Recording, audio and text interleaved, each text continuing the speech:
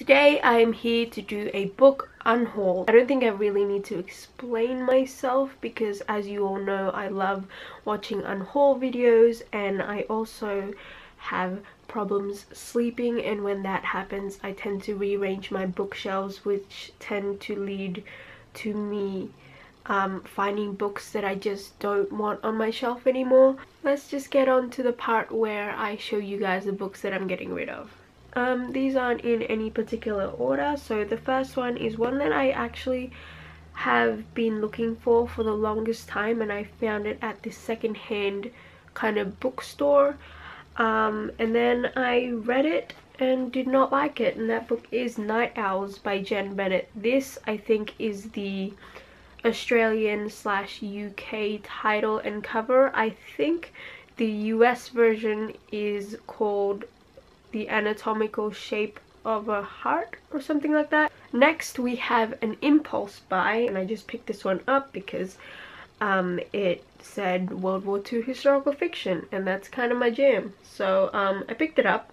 That book is Anna and the Swallowman by Gavriel Savit. I tried, I've tried to read it a few times and I just couldn't get into it for some reason. I'm not sure why. The next two books are slightly controversial um, and uh, yeah, I'm just gonna show it to you guys. It is Clockwork Angel and Clockwork Prince by Cassandra Clare. These are the two books in the Infernal Devices trilogy within the Shadowhunter world. I have been slowly going through the Cassandra Clare Shadowhunter books for about a year now and I tried reading the first one. I didn't mind it and I picked up the second one because I thought okay um, sometimes these books take a little longer to get into so I, I'll just pick up the second book. I couldn't get into the second book. I finished it I just didn't enjoy my reading experience and I don't really feel like reading the third book. I think I'm just going to enjoy the Mortal Instruments and not really care about this one. Next I have this kind of um, excerpt thing by Charles Dickens that I picked up. I'm not sure when I picked this up, um, but the font is not that big. Uh, actually, it's not that bad. It's just, I don't know. I just don't feel like reading it.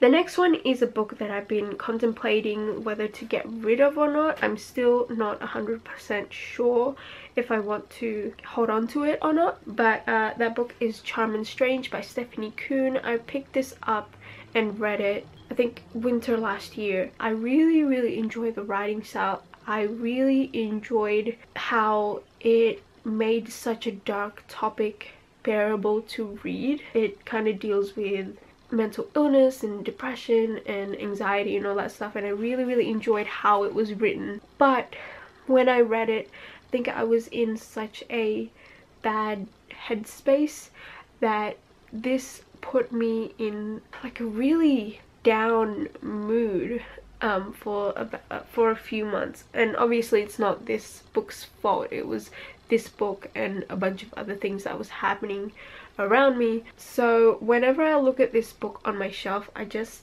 feel kind of sad.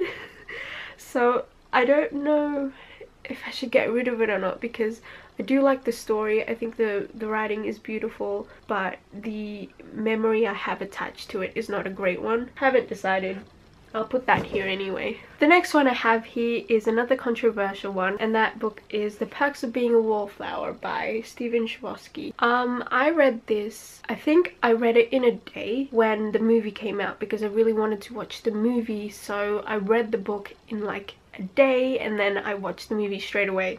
So I don't really have too much of a memory on the book itself, it's more of the movie that I kind of remember and because of that, I don't know if I actually like the story or the book at least. The movie's okay. I, I didn't find the movie to be fantastic or anything like that. I, I like it, but it's not something that I would rewatch. And I have zero memories of the book, so yeah, getting rid of it. The next one is another example of the case of I really like the writing and the author and I want to read more from the author but I don't particularly feel the need to keep this book on my shelf and that is Ray Bradbury's Fahrenheit 451. The story itself didn't really stick with me in any way um, but I do really like Ray Bradbury's style of writing and I am looking forward to reading more of his stuff. I do have his uh, short story collection and I'm really enjoying that so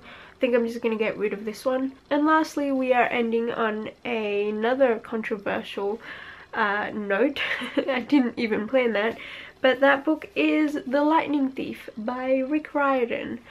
I know that a lot of people love this book. I think it's a fun book, but because I didn't read it as a kid, I don't think it like stuck with me as it would if I read it when I was younger. Also, I just don't feel the need to continue on with the series. If I do want to pick up a Rick Riordan book, I think I might go with his Egyptian God series. I think it's called like um, the Kane Chronicles because I'm more interested in Egyptian myths than I am with Greek mythology. So yeah. Anyway, those are the books that I'm getting rid of. Usually I take them to my local library or I take them to the bookstore behind my church because they work with Lifeline which is a like a organization charity type thing um, I'm not explaining myself properly but uh, yeah usually I do that but for some reason I kind of feel like trying out books for trade on Twitter so if you are interested in any of these books check out my Twitter. I might post it there. Um, keep in mind I live in Australia and I know that shipping costs a ton. But yeah uh, if you are interested check me out on my Twitter. And I hope you guys are having a great day and I will see you guys soon.